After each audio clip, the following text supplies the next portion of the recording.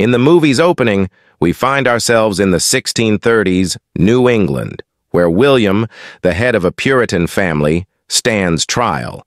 He boldly criticizes those around him, labeling them as hypocrites, while they accuse him of blasphemy against God's word.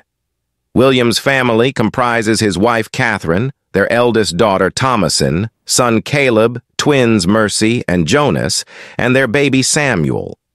Forced out of their New England settlement, they carve out a new life on a remote wilderness farm. The twins, Mercy and Jonas, often frolic with a large black goat they've named Black Philip. One fateful afternoon, while Thomasin plays peekaboo with Samuel outside, she covers her eyes only to find the baby vanished when she uncovers them. Our view shifts to the darkest depths of the woods, where a weathered hand caresses Samuel's body. Soon after, a sinister figure lowers a knife toward the infant's chest.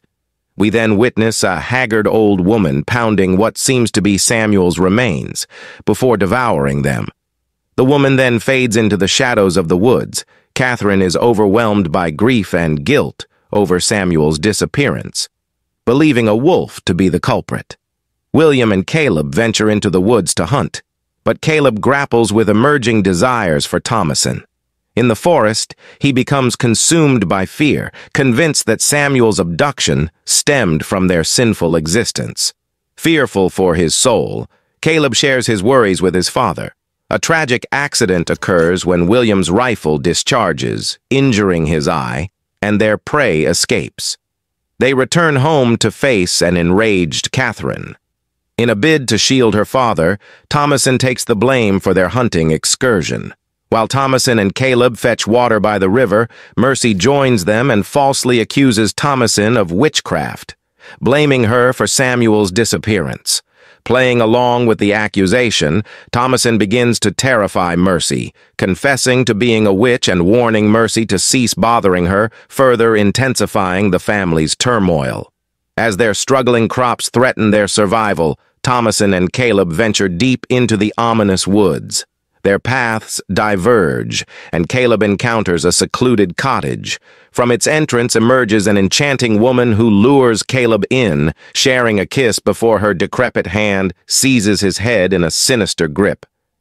Later, Thomasin discovers Caleb, naked and bearing scars, out in the rain.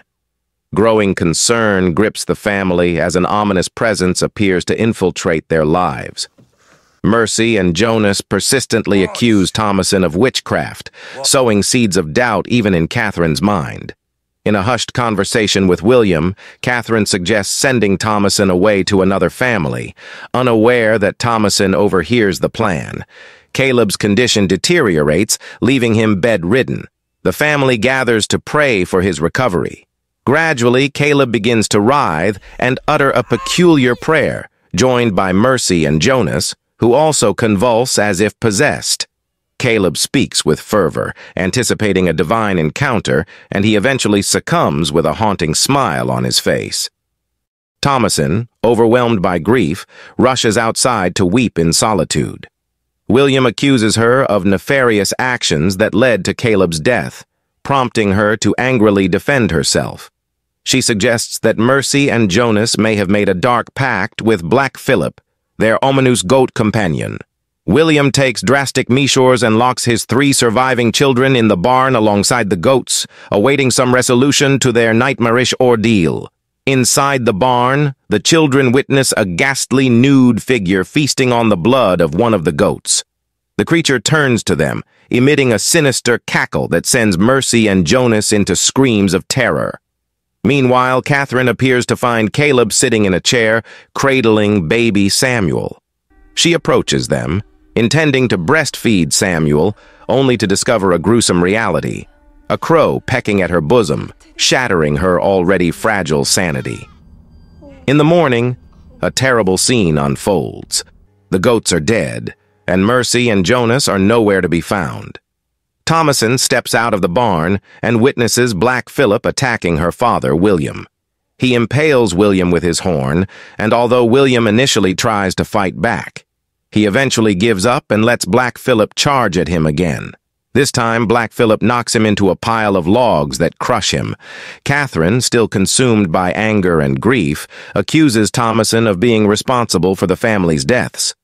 She blames her for everything. Catherine starts choking Thomasin, but in the midst of the struggle, Thomasin manages to grab a nearby blade and defends herself, hacking at Catherine's face until she dies. Thomasin quietly enters a barn, where she dons a cloak. She later encounters Black Phillip and demands to talk to him. After a moment of silence, Black Phillip speaks in a soft voice. He asks Thomasin what she wants and what he can offer her. Black Phillip then takes on a human-like form and walks behind Thomasin, instructing her to undress. She complies, and they venture into the woods together, with Thomasin now naked. In the heart of the forest, they come upon a group of witches, all dancing around a fire in the nude.